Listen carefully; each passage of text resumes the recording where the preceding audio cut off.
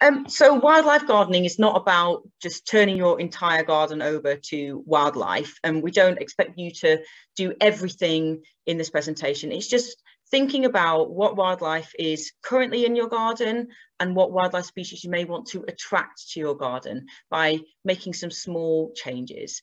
Um, and we want to focus on gardens because they are a really important resource in uh, you know, our current landscape.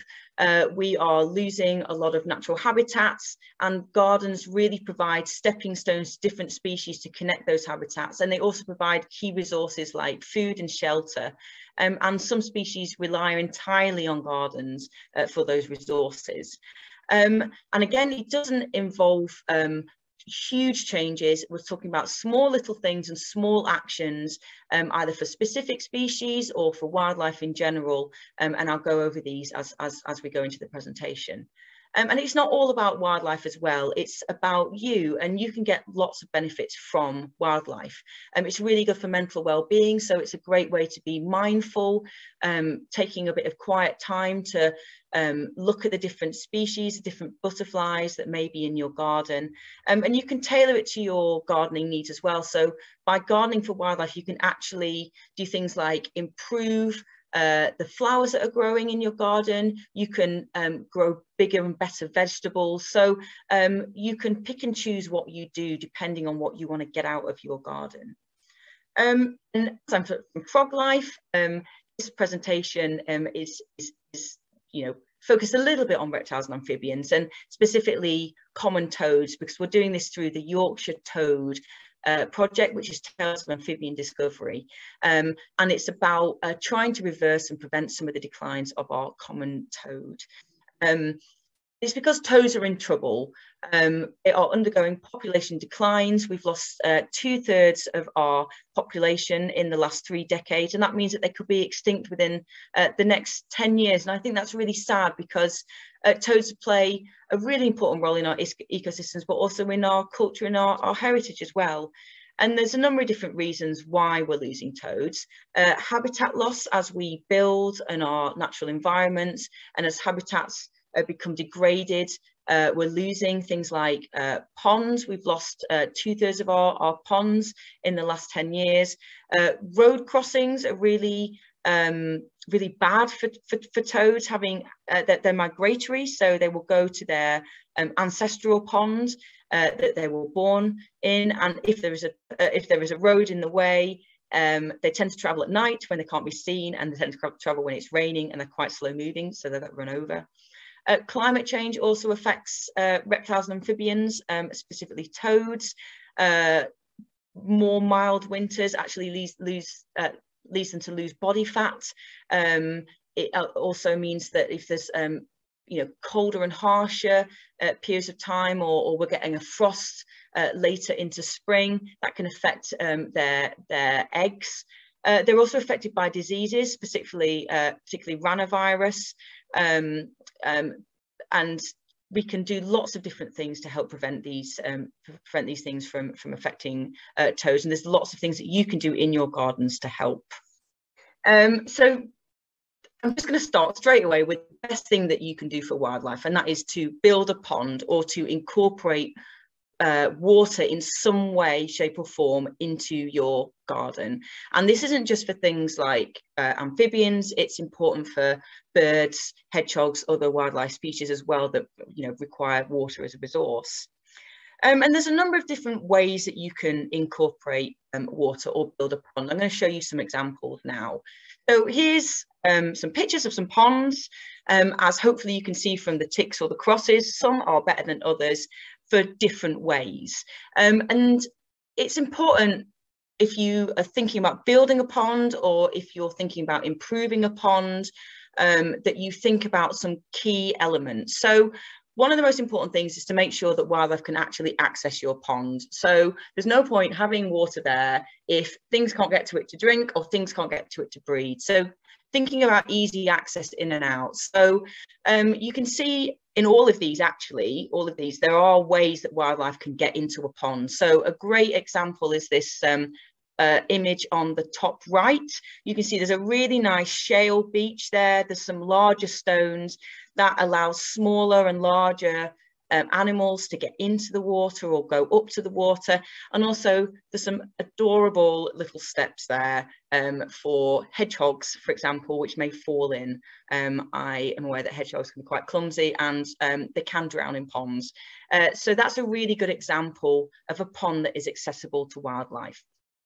Um, and some of these ponds as well show another um, important thing, which is to have a shallow area or a gradient of the pond. And that's because different plants and different uh, insects, for example, will use different depths of the pond um, at different times of the year and for different things. So for example, frogs may lay their eggs in shallower water where they're going to get a little bit more sun. And then during the winter, they may go dormant at the bottom of a pond. So by having a range of different depths um, in your pond, you'll enable that to be beneficial to wildlife throughout the year. So again, something like a shingle beach is a really good way of doing that. Uh, the best place to build your pond is in um, in sun they need a lot of sun uh, for both the plants uh, that are there and also you know things like breeding um, breeding insects, amphibians to keep the water a little bit warmer. Um, but they want they do want a bit of shade as well. So you don't want your pond to overheat. So the best place to do it is is in sort of a full sun area, but then have some marginal plants around there or some leafier bushes to provide a little bit of shade, or maybe an area where a fence will provide a bit of shade later on in the day as the sun moves around. What we don't recommend is that you put your pond under trees because leaf litter can go into the pond and um, really mess up the nutrients and the oxygen level um, and you know turn it into into something that, that, that actually very beneficial for wildlife. If you do have a pond under trees we recommend that you uh, rake out the leaves. Now is a really good time to do it when you've you know all of the the leaves have fallen off the tree so you're not going to be repeating it. Um, but most animals are dormant or have left. So it's important that when you do scrape out these leaves, you leave them on the side for anything that's still living in there. For example, dragonfly larvae, which take a number of years to hatch into dragonflies. Um, things can crawl back in and then you can uh, dispose of those leaves onto the compost heap. Don't leave them there because that will make nutrients leach back into the water. Um, having a stable water level is also really important, but um, ponds will fluctuate in their water levels as the seasons go on. So in summer, you will have a lower water level. You can top it up. You don't want it to dry out completely. You can, if you've got a large, you know, a, a high water level or quite a large pond, you can use tap water. Um, as long as that's not going to be in the main bulk of the, of the pond. But if you're using if you're filling it up again from tap water, it's important that you treat it um, to remove the chlorine. Um, and you can get water treatment um, products from local garden centres. Um, and at the same time, thinking about the oxygen levels, we need to think about the plants. So there's a number of different plants that you can include, and that's all about regulating the oxygen level and also providing things like breeding opportunities. So um, newts will want to lay their eggs on uh, surface uh, plants, for example. And I'm going to share a resource with you, and it's, it's actually in the chat um, a resource called Just Add Water, and that has a great list of plants that are both marginal or within the water. So things like uh, flag irises and marsh marigolds and things like different pond weeds that will be beneficial to wildlife. Um, and on the same level, you know, you need a vegetated margin. So this, this pond here in the bottom left corner is a really good example of a pond that has a great vegetated margin because things like frogs and toads don't spend all of their time in ponds, they actually spend a lot of their time outside and in vegetation and we're keeping cool. And especially when frogs hatch, um, they will go into the marginal area of a pond to keep damp. Um, so if you don't have that vegetated margin, um, you're not providing that resource to, to wildlife. And, and, it's really important as well that that vegetated margin covers up exposed liner. So this pond, the bottom right, is a really bad example of a wildlife pond. There's no Oxygenating plants, there's a really big exposed liner. And the, the reason why liner is so bad is um, both insects and amphibians that crawl out uh, basically fry in the summer. Um, it doesn't provide them anywhere to hide or you know provide them with any benefits. Um, so try and steer away from this pond in your bottom right and go for the one in the uh, at the bottom left. Again, that resource that, that we've shared and, and we'll, we'll share again will really guide you in building a great wildlife pond. and it can be any size. We say about two meters by one meter is, is a really good optimal size of a pond, but you know, you can, you can even use a bucket um, for, for a pond as well, as long as you follow some of these tips as much as possible. So the other thing obviously important in a garden is thinking about what you're going to grow. Uh, so we need to think about the different plants that we could include to be beneficial to different species and where we're going to plant them and when we're going to plant them. So having something like a wild patch where we include different pollinating plants can be really beneficial. But you don't have to do that um, if in your lawn or in your beds, if you would like a neater garden or if you don't have much space, you can do that in pots and planters as well. And you can use this opportunity to grow food uh, for wildlife at different times of the year as well. So just a little bit more information on this. We, we advise that you think about native pollinator plants, um, both annuals and perennials. And we say native pollinators because these plants have evolved alongside our insects or our insects have evolved alongside these plants and the colors and the shapes and the sizes of these flowers um, have, have, evolved in a way to um, attract the insects that are most beneficial for them and the in insects get the most, most benefit from, from these plants. But it's not just about native pollinators. Uh, research has shown that having some non-native species is also really beneficial because these tropical plants tend to have a longer growing season. They tend to be more into the summer and the autumn, and they tend to um, provide then a greater and longer resource for wildlife um, across the year. So it's all about having a mix. So don't neglect your native pollinators, but don't think that these are the only plants that you can grow. Um, I really, I'm just picked up about a few species here. I really like cornflowers. They just go forever. Um, just a wildflower mix. You can you can pick these up even from your local pound shop, um, and you'll be surprised by, by what will grow. Um, borage is a really good plant. Scabious. I really like uh, verbena um, bonariensis, there's lots of different types. That is a, a, a, really nice, attractive plant. It's a nice tall purple one, and that's really, really good for bees and butterflies. But there's loads of different uh, plants that you can grow. Um, if you are into growing vegetables, uh, then you can think about plants that will help you with that. So growing things like mint, as well as being um, a plant that will provide pollen for different insects, will attract uh, pests away from your carrots and uh, broccoli, for example, and garlic chives are really good as well, and they, they look quite attractive. Um, and then thinking about the plants that you can incorporate to provide uh, food for wildlife, so hedgerow brambles, that's a way of um, diversifying uh, your hedgerow to include um, autumn autumn fruits, uh, wild strawberries, strawberries you can dot around your garden, and things like sunflowers you can use as a hanging sort of little mini bird feeder uh, later into the autumn. Uh, so, so some um, ideas there, but there's loads of different sources, you know, RHS website has some great ideas. Um, we can also think about where we have these plants and, and I would really like to encourage you to think about having a little bit of a messy area of a border. And I don't mean um, it being completely wild and looking terrible, but you can incorporate things like some uh, grasses. And if you just leave an area to see what will grow, you'll be quite surprised by how attractive that can look. Um, and that's about providing a different range of heights of vegetation to enable um, different wildlife species to use that as refugia. So things like um, uh, frogs and toads will will hide in long grass and use that to keep uh, to keep cool. You can also have some no-mow areas. So um, I have a really nice little patch in my garden that I don't mow well, my garden isn't large enough to mow. I go around with some secateurs, but anyway, um, I have a little patch and it looks really pretty. You get all sorts of things growing there. I've got some really nice clovers, I've got buttercups and things like that. And it can look really attractive and it adds a little bit of a different dimension to your garden as well. And again, you know, those different uh, pollinating uh, plants will be really beneficial to different insects. And then you'll have that longer grass as well for things to hide in there.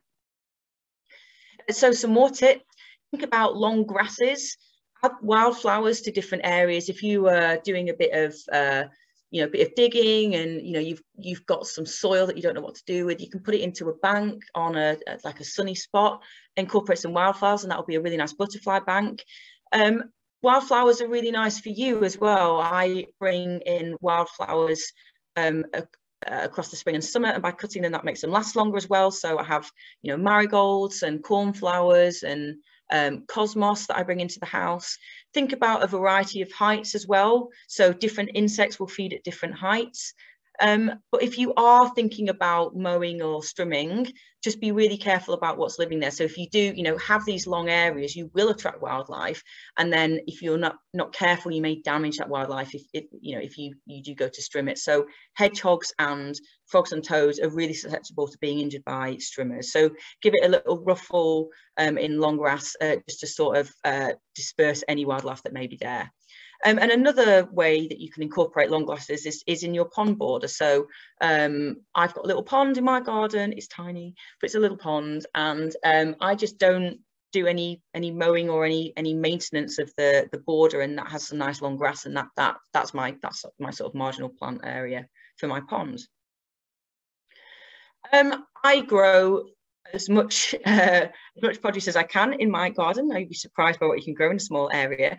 Um, and as um, you know, as, as I grow things, I, am obviously thinking about the pests, and particularly slugs and snails, which are the bane of my life.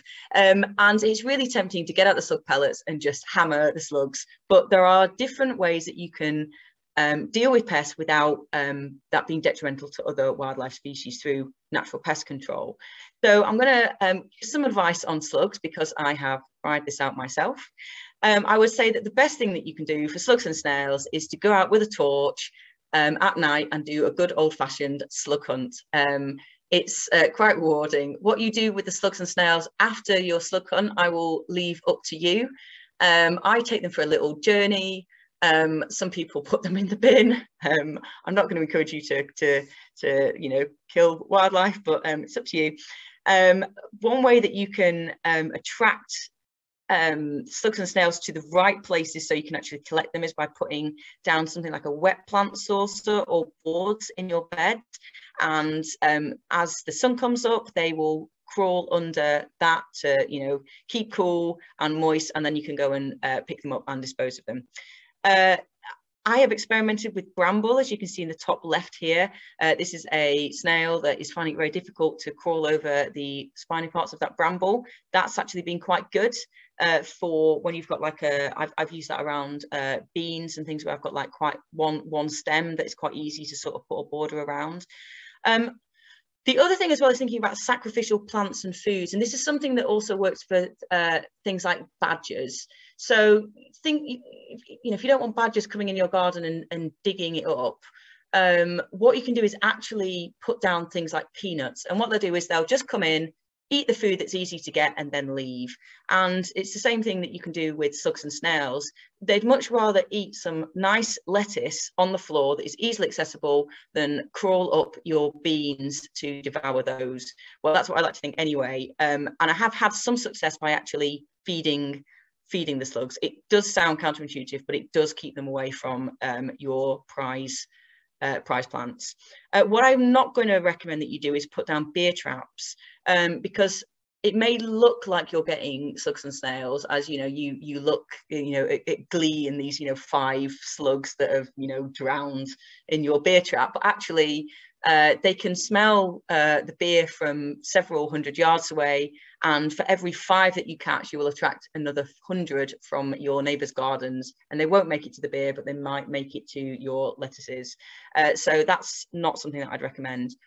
Um, I'm not going to tell you to absolutely don't use slug pellets at all because sometimes uh, we get desperate, but please uh, steer away from um, things that aren't based on ferrous phosphate. So ferrous phosphate is basically an iron-based um, pellet, which has been shown to not be uh, harmful in uh, small quantities to wildlife and pets. So if you use it sparingly and you only use it where you need to and try and corner off those areas from things like hedgehogs, then it is something that you can use without being too damaging for wildlife. Uh, you can also think about natural predators. So by attracting amphibians and birds to your garden, they will deal with your slugs and snails. Uh, blue tits, I'm, I'm sorry, I can't remember the exact statistics, but blue tits eat an absolutely ridiculous amount of caterpillars every day. So if you are having a caterpillar problem, then by feeding the birds and you know attracting attracting birds to your garden or make or you know thinking about um, providing hedgerows and things like that as as um, as areas for blue tits to hide in and things, then then you know you'll you'll attract the, those those predators. Uh, nematodes are also things that you can buy from garden centres. These are little parasites of slugs and snails. You sort of sprinkle it on the ground and water it, and then they um, infect slugs and snails. I haven't actually had that much success with those, but I know some people who have. Uh, companion planting, you can incorporate marigolds uh, and nasturtiums. In the bottom left here, uh, you can see a really nice example where somebody's done that, and that will actually attract those pests away from um, those vegetables. And I have had some success in that way. I've grown nasturtiums and I've been horrified by the amount of aphids that have been on there, but then I've had absolutely no aphids on anything else. So they've been really successful. Uh, spring and summer, we may think about how things are growing and think about pruning plants and hedges. This is just a quick tip that uh, we need to think carefully about nesting birds. It is illegal to disturb nesting birds and uh, nesting bird season is from March to August. So if you are doing uh, maintenance during that time, cutting down a tree, it's important that you um, look for what may be nesting there. And I would say that if there is a nesting bird, I would just leave it alone. Wait, monitor it and wait until they fledge um, and then deal with it. Um, and you do need to be checking up until the day before um, or the day that you do any work. Um, so yeah, yeah, just be aware of what may be living there and, you know, try and try and, you know, keep basically on the right side of the, the law for that.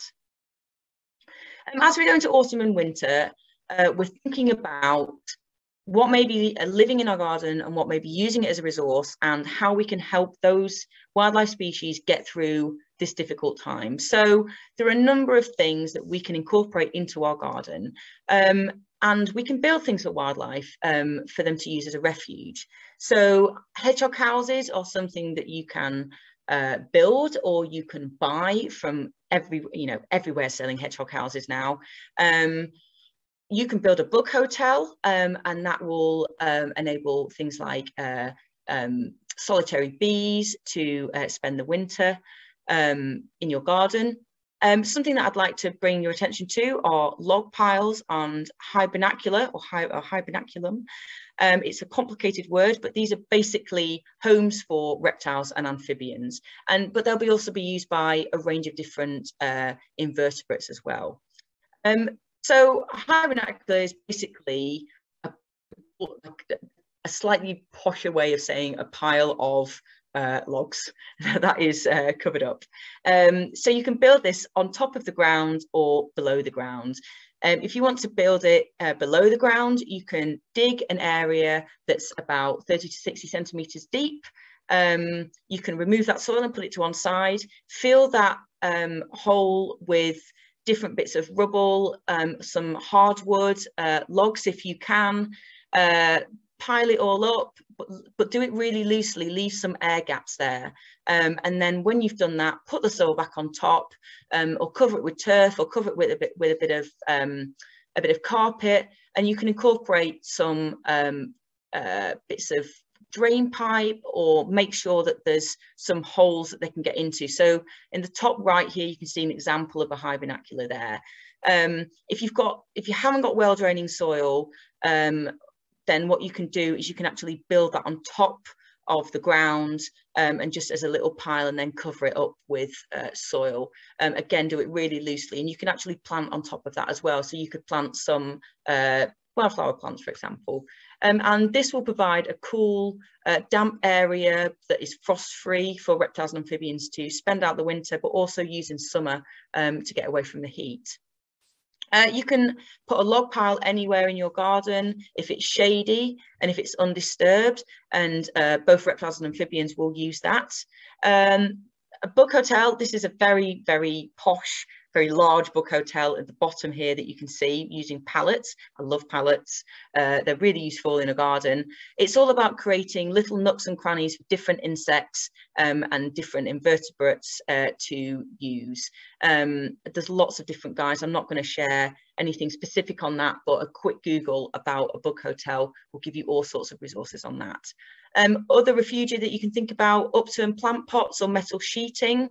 Here's a common lizard using a metal sheet to get some heat from the sun and it will go underneath um, when it gets a bit too hot. Uh, piles of undisturbed bricks are great for things like newts as well. So if you have a little bit of a messy garden and you, you, you know, if you have some piles of bricks and you're thinking, oh, I really need to move these, actually they're being, you know, they're doing a great job for as providing a home for wildlife. So, you know, don't rush into, into tidying them up. Um, we can also think about uh, composting. Uh, if you do grow things and you manage your garden or you cut grass, you may have a compost heap. If you put it in a sunny south facing position, it will decompose well. I'd like to encourage you to use an open construction, again using the humble pallet, uh, which is really good for being accessible to wildlife and allowing oxygen in there as well to enable the decomp decomposition process to um, you know, go on its uh, merry way. You can also put piles of leaves and grass as well if you don't have a compost heap. Uh, they may even be used by uh, grass snakes to lay eggs. They'll be used in the winter uh, by hedgehogs uh, to hibernate as well. Try and avoid those black sealed plastic bins because they're really not very beneficial to wildlife. Uh, things can't get in and, and things can't get out. Um, they can turn into a bit of a sludgy mess and um, you know th th there are better ways to do a compost heap. Um, if you do have a leaf pile or grass pile, again, just like a log pile, put it in a shady area and try not to disturb it. Um, it's good if you try and cover these things. Again, that provides somewhere else for, for wildlife to hide, but it also, you know, keeps the heat in. Um, old carpet or tarpaulins or metal sheeting uh, will do a really good job of that. Um, I know um, on things like allotment sites, things like carpets aren't allowed. Um, so, so if you know you if you if you're using some of this advice to, to make your allotment or wildlife uh, friendly, just check with your society to make sure you don't incorporate some material that isn't allowed. We can also put up things like boxes and bird boxes. Um, autumn and winter is a really good time to be checking these things to make sure that they haven't got any uh, abandoned nests there or they're not being they haven't been taken over you know by wasps i mean you know wasps need to wasps, wasps are creatures too. They need somewhere to build their nests but you know if you want to keep them for the birds give them a little bit of a clean out in the autumn and winter and then they'll be nice and uh, available for birds as we go into the spring. And you can also put bat boxes up as well and they'll, they'll use those um, throughout the year. Um, as we go into autumn and winter, we also may be thinking about how uh, we want to modify our garden, we may be doing repairs, uh, we may be doing some um, landscaping, and that's all fine, um, but just be careful about what may be living under there. So things like newts and frogs and toads may be uh, hibernating is not the right word because they don't they don't exactly hibernate, but they go dormant, they go and rest um, and you know slow down their body processes um, under things like flagstones, piles of bricks, old patios and things like that. Um, so if you do find something, it's not the end of the world, you're not bringing it out of hibernation, it's not going to die, but um, try and either put it back from where you got it from if you're just moving some things around or try and put it somewhere in same conditions. So if it's somewhere you're thinking about reptiles, uh, if you think about amphibians, they're, they're trying to keep somewhere quite moist and quite a stable temperature and frost free. So um, you know, try if you've got another area in your garden, another another you know pile of bricks or something like that, try and put them put them somewhere like that. Uh, we also need to think about how things move around our gardens. So it's all very well having all of these resources available, but if wildlife can't get into your garden and can't get out, then it's not going to be very helpful. Um, hedgehogs will move several kilometres um, a night. Um, frogs will uh, and toads will move about 500 meters to a kilometer as they search for food and as they find go and look um, for a pond to breed. Um, so for a frog and a toad to get into your garden, it only needs a small gap of around five centimeters, but they may need to be um, you know, you may need several of those because they're going to find it quite difficult finding one access point. Um, hedgehogs uh, tend to follow linear um, features in a garden. So you'll, you'll often see a hedgehog running along a fence. So uh, you will generally try, generally find a hole if it's there. It needs to be about 15 centimeters or about the size of a, a CD case. Um, and if you do um, put a fence gap in, you can map that on um, a website called Hedgehog Streets, where they are trying to understand how wildlife moves around our gardens. And that's a nice little citizen science project that you can get involved with. Um, feeding the birds is something that we all want to do year round.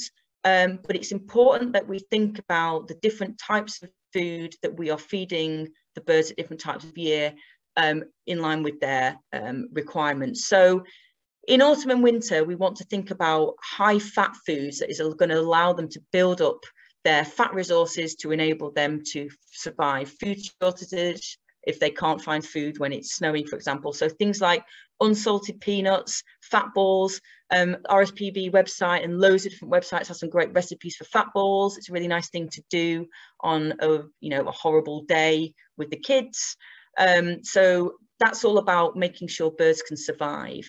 Um, in spring and summer, it's important to think about not actually providing fatty foods. And these actually don't really last in warm weather. You know you may see fat balls go a bit rancid um, in the heat. It's about providing proteins. So things like mealworms um, and sunflower seeds are the sort of things that you want to be feeding the birds. Um, because um, fat as well is a really bad thing for young birds. They need to be getting the protein that they need to uh, develop um, I mentioned citizen science before, but I just want to draw your attention to some citizen science projects that I think are really valuable. So uh, Garden Bird Watch is a really good one. The Big Butterfly Count is a really important uh, way that we are, it's not just thinking about butterflies, it's thinking about how different species are responding to climate change. So butterflies um, will change uh, their distributions. You know, we, we have, um, for example, in, in, in where I'm in Yorkshire, we had have um, uh, you know, woodland butterflies that um, were very rare that are now quite common because um, our climate is getting warmer, so they're able to migrate uh, further north. Um, and Froglife has um, a citizen science project that I'd like to encourage you to all get involved with. And there is an app that we can use um, called Dragon Finder, and this is available um, on the various app stores for both Android and iPhone. And it's a way that you can identify, record, and report the reptiles and amphibians that you are seeing in your garden. Um, on the left here, this is an absolutely not staged at all, completely natural photograph of a frog and a toad next to each other. Um, and you can see some of the differences between these uh, species. But um, next next to each other, it, it's quite obvious. You know, you see your slightly more wartier frog and your more patterned toad with its longer legs and bigger eyes. But if you have something on its own, it can be quite difficult to identify it. So the Dragon Finder app will talk you through the different features, and you can use a little some little you know pointers to try and identify the species that you have got in front of you. Um, just a, um, a little word of caution is that the app includes um, species that are uh, nationwide. So natterjack toads are not found across the country. Um, so just um, maybe have a look at the species pages, which are um, on the app and just have a look about look at the distribution to help you identify whether you've identified the right uh, species or not. And once you've identified them, you can report them as well. And that helps Froglife um, and other organizations um, think about things like climate change, how are different species, how reptiles and amphibians are responding to climate change. And it also helps us understand um, things about responses to diseases as well. Um, and um, we're, we're, very interested in the spread of diseases um, between, between amphibians and how, how we can prevent that. Uh, so some, some um, key uh, things that I need to just um, bring up, some questions that I get asked. Um, you may have some different questions to this, but some key things. A lot of people think that wildlife will damage um, gardens. You know, have people have badgers come in and dig things up.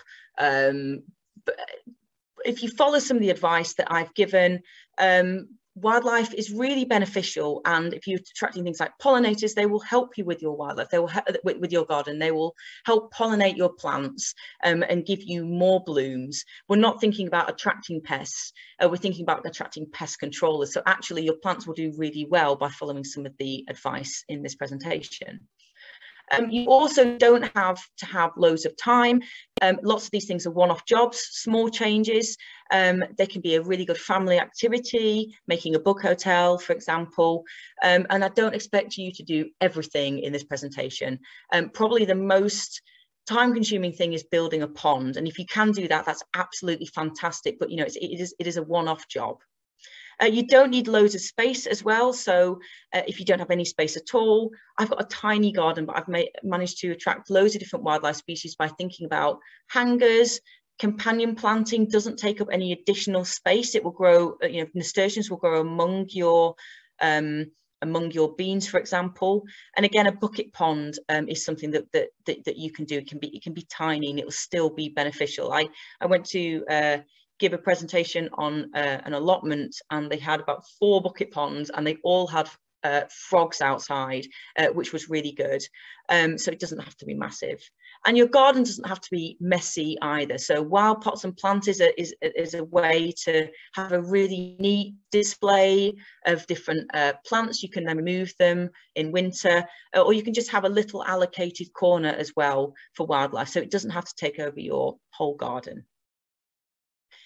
Um, okay, so that's sort of everything I want to talk about. Um, and I'd really like to um, encourage any questions now. I see there's some stuff in the in the chat.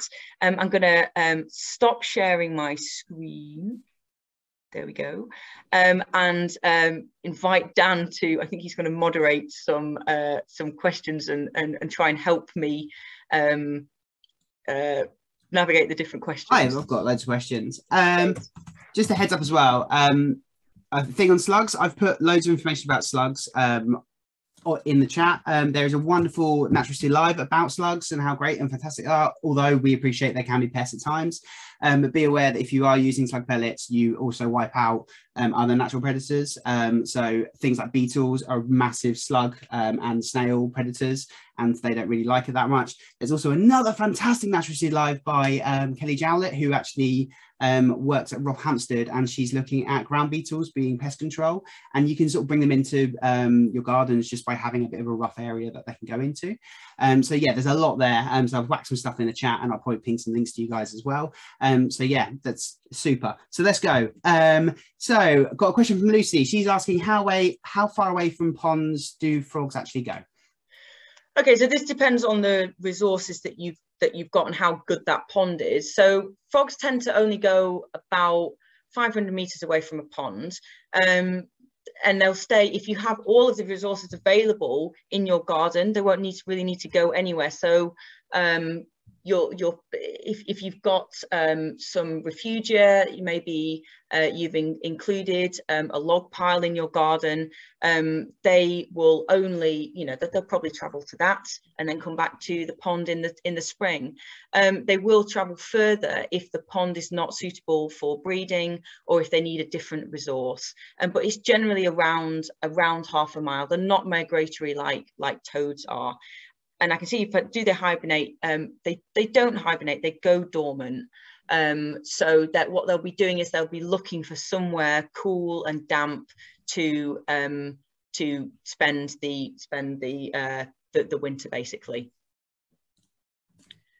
Um, cool. Um, Lorna asks, um, when we're talking about confusing pests by using different um, plants and things, she's asking, um, should mint be planted next to the veg or do you have a recommended distance? Yeah, so so for companion planting, I recommend and, and things like mint, nasturtiums, I'd recommend that you plant those very near, very near to to the um the plants. So I would um sorry, I've just have somebody at my door with a parcel who I've told to go away about five times, but she's um carry on. Anyway, sorry about that. That's why I'm waving madly. Um, with the mint, mint can be quite invasive in your garden and kind of take over. I would recommend that you put mint into a pot and put it next to um, next to your plants. Or what you can do is you can um, you can uh, put it into an a, you know into a bed, but then manage that every year. Um, but yes, companion plants try and keep them next to your next to your plants and then and then those will draw those pests that you know are sneakily trying to get to your beans for example um, they'll hopefully be attracted to that hopefully. Another great thing as well to add to that is um, things like mint are actually um, resources for other um, very specific things. So there's the mint leaf beetles, for example, um, that are very, very nice and very pretty. And if you don't mind them being there, um, they, they are spectacular to look at. They're very metallic and, and really cool. So yeah, introducing more plants increases diversity as well. So an all-round win. And if you've got some to put on your potatoes at the end of the end of the week, then you know everyone's winning. Great. Um, Lorna also asks, um, when is it okay to cut long grass? Um, do you have a recommended cutting schedule, for example? I mean, you know, if you, if you need to cut your grass, I'm assuming it's going to be spring and summer. It's fine to cut grass. I would say a really nice thing to do would be to maybe have some areas on some rotation. So you can leave, if you can leave some areas uncut, that would be great. Or you could maybe have, you could maybe cut half of your lawn uh, one time and cut half of the lawn the next time. The, just the important thing to do is if you are cutting the lawn, uh, not not the not not not necessarily the because you can't do it the, the, really long grass is to just give it a little bit of a, a tussle sort of like try and disturb things that may be in there so there's a great example is um earlier this year i went to my parents house and they um we were doing a little bit of uh management um, in the flower beds and we actually found a hedgehog curled up in some long grass which was absolutely adorable but we had no idea it was there. And um, so we ended up leaving that. We, it wasn't necessary for us to for us to um, cut the cut the grass um, but if you've got a pond in your garden you'll get things like uh, froglets um, in the grass um, and they'll just hide in there so if you sort of disturb it and ruffle it, then they should hop away. Um, and then you can cut it. You know, you you may have some casualties, hopefully not. Um, it hopefully won't be all of them. You've got to remember that uh, frogs and toads lay so many um, so much frog spawn and have so many young because they're just like turtles because there is a high mortality rate. So um yeah hopefully there are more where they, where they came from but yeah um if you if you can leave a bit of grass great. If you have to cut it in spring and summer it's absolutely fine. Just try and try and disturb what's already in there hopefully that answers your question i um i do something fairly similar um i've got a just a strip of grass that i leave at the side um another thing i would like to add as well is that when you do cut grass, don't remove that resource from that area. Put it in a pile, put it in a compost heap, for example, because you get amazing things. I sieved my compost heap the other day and found over 60 species in it. So, you know, it's it's a resource in itself. And a lot of people they'll sweep up um, leaves, they put it in a plastic bag for some reason, um, and then remove it. And actually, there's probably quite a lot of nature in there. So removing resources is also another thing that you need to take into account, I guess, as well. Um, oh, um, we've got one. Let's go froglets. Um, any advice on how to protect little froglets from domestic cats? Um, is there any time of the day when it would be useful to shut in the cat? Cats. Okay. um, cats. Cats are a, a, difficult, a difficult subject because um, everybody, you know, everybody has their opinions on whether cats should be inside or outside. I would say the best thing to do is just not have a cat, um, but you can't stop your neighbours from having cats. Um, cats will kill huge amounts of wildlife, all sorts of things. Um, I, it's very difficult because if you have an outdoor cat, um, they they will hunt when they can, they will hunt during the night and they will hunt during the day. So it's not really a case about when you can keep your cat in, it's whether you can keep it in, in, a, in at all. Bells are obviously something that you can do.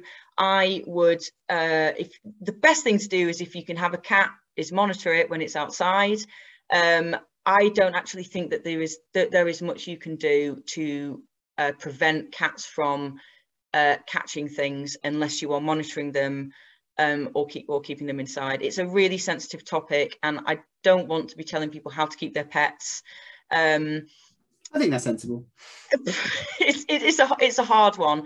Um, so are frogs more active yeah. in the night, or are they? Yeah, frogs tend to be frogs do tend to be tend to to go out at night more when when the weather is when when it's cool. So if you can have your cat in um, during the you know overnight then it's then it's not going to catch um, things like frogs Um, but if it's out during the day, it may be more likely to catch birds which are foraging for their young. So it's it's you know by saving one species, you may be affecting an, an, another species. So cats are just they're just a difficult sub they're just a difficult topic um, to to discuss, and they are they are difficult for wildlife. I would put a bell on your cat. I would keep them in during during uh, during during the night because they are more sort of nocturnal hunters. Um, if lions or anything to I used to I used to run a lion project and uh, I used to spend my day watching sleeping lions. Um, who are you know very boring at boring during the day. So yeah, I yeah, let's say let's say keep them in at night. Cameron um, Miller has put a note in the chat as well saying that keeping cats in at dawn and dusk is advised to protect bats as well. So that's, great, that's great. In a nutshell, thank you very much, Cameron. That's super. Um, another emotive subject, so feel free to answer how you feel appropriate. Um, so someone's asking, um, they found a dead frog, um, but they also have in their garden, they also have foxes. Is it likely that the fox is the cause of that, or is it could it just be anything? It could it could be anything. So um, again, something that we're interested in um, are uh, diseases, especially ranavirus. Um, and on our website, uh, froglife.org, you will um, which which uh, I can we can put some pointers to this. I think there are there's the link above as well. We have some information on those diseases. So what will be really good is if it's not completely uh, you know desiccated already, is to see if you can see any lesions on that um, on on that dead frog. Um, which will give an indication of whether it's it's been um, affected by disease. Um, if it's something that they can die from all sorts of things, and they can be caught by different uh, different uh, species. Um, even things like otters will eat frogs and toads. Badgers will eat frogs and toads. Uh, hedgehogs, badgers tend to sort of um, skin them. Um, so without seeing it, it's difficult to know what has, what has what has killed it. Um, I guess, I guess if, if they found it at its hole, then it hasn't been eaten as well. Yeah, that is that is the key. That is the key thing. So yeah, I would I would say that you know there are natural predators of frogs and toads, and it is okay for things like foxes to. I, am not actually aware whether foxes whether foxes do eat frogs and toads. They may do. You know, they'll eat anything. Um, the most important thing is really identifying whether that frog has died due to a disease. So if you can do that, that will be really good. If not, I would just say let nature take its course. Um, frogs have to, uh, foxes have to eat as well. exactly that. Um, and they, yeah, they, they've all evolved together, haven't they? And they've exactly co-lived for for millennia. Um, I've got a few questions about um, in, like encouraging wildlife, like putting food out for hedgehogs and things like that, but having issues with rats. Is there a way mm. that we can mitigate that? Things like compost heaps, that kind of stuff. It's really difficult with rats. I would say things like not putting out food for hedgehogs, um, like tinned cat food and things that are smelly. Um, hopefully that's going to deter rats and putting food high up. Unfortunately, rats, if, if, if you're going to make food accessible to a hedgehog or to a you know to, to, to other species you're probably going to be making it accessible to rats i have kept chickens in the past and that is something that I've really struggled with. So putting food out at certain times of the day and then removing it can be a really good way of uh, deterring uh, or you know not providing that food for rats. So i for my chickens i used to put it out in the morning and i used to monitor it and then i used to put it and, and put it out in the evening and then they'd roam free and you know forage on everything else. Um, for things like hedgehogs you could put some food down in um, uh, early evening and you could make sure that that's then cleared away in the morning so the smell's not there or even if you have an early visiting hedgehog you could um, remove it sort of slightly uh, later at night. Um, something that would be really nice to do um, if you're if you want to think about um, oh and this is also um, feeds on nicely to a comment I've just seen here from Lucy. Is there a way to tell if you've got hedgehogs if you don't see them? I would uh, recommend that everybody tries a wildlife camera in their garden. I think it's an absolutely fantastic thing to do. You'll be amazed about what you see crawling around.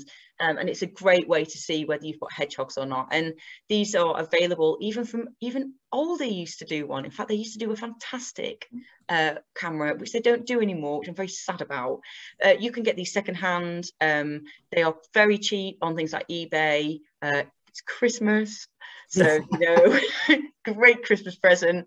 I am slightly obsessed with wildlife cameras because I used to do otter monitoring, and that was the only way that I um, could actually, apart from going around finding otter poo, the only way that I could actually see otters uh, was through uh, wildlife cameras. And I've put them in my garden, and you can even get to identify, uh, you know, different badges and things like that for badges visiting based on their facial marking. So that's a really good way to find out if you've got hedgehogs, or you can look for hedgehog poo.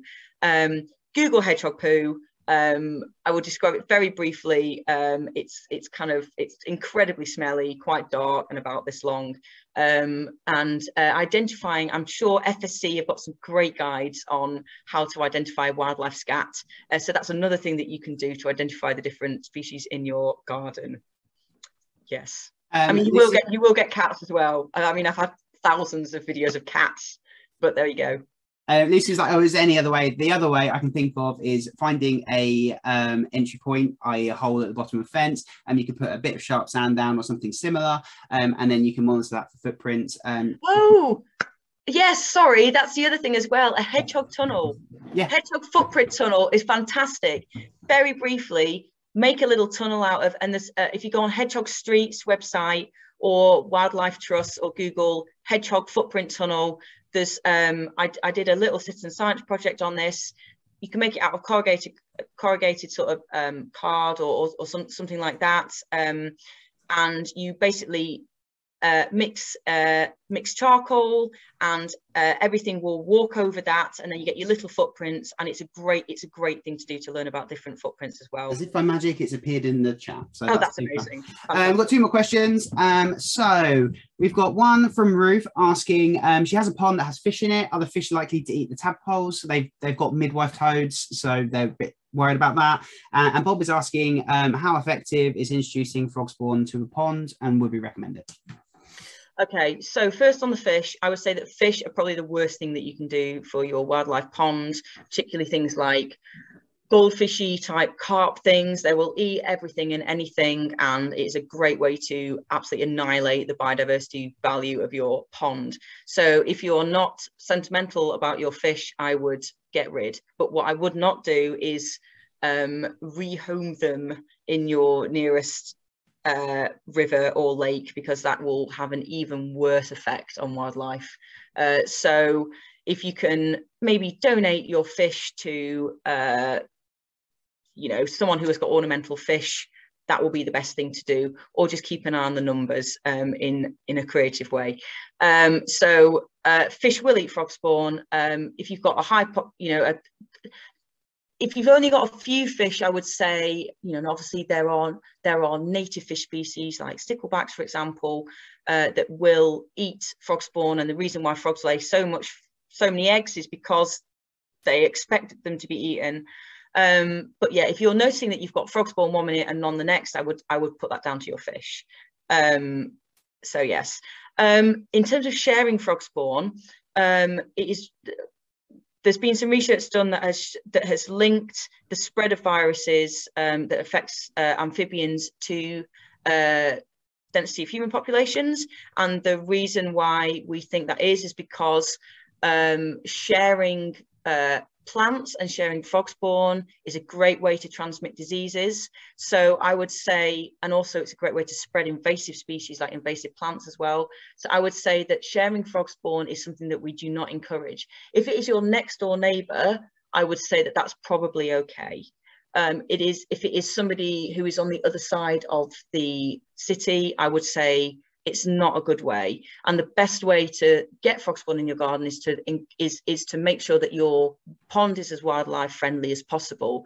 And if you're not getting frog spawn, it's probably down to a good reason. It's probably down to the fact that um, their uh, frogs can't access it, or it's not suitable. There's not enough resources in there, or it's a new pond. You know, a lot of people, uh, you know, want a pond to be populated straight away, but it could take, uh, you know, a, a, year or two for a pond to be to start being populated by the right species.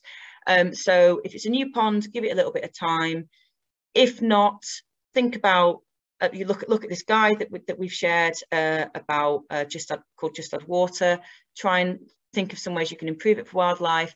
If not, then maybe it, it may just be that that frogs that your pond isn't suitable for frogs. Um, and it's more important that we don't spread diseases um, than we you know, incorporate frog spawn. And also there's a danger that if your pond isn't suitable and frogs have chosen not to lay frog spawn in your pond, you then introduce it, it's probably not going to survive anyway. So yeah, that's my two pence worth on that. yeah, unmute and say goodbye, everyone. Thanks for joining. Thank you, thank you, thank you. Thank you, bye. Very much. Thank you. Enjoyed that.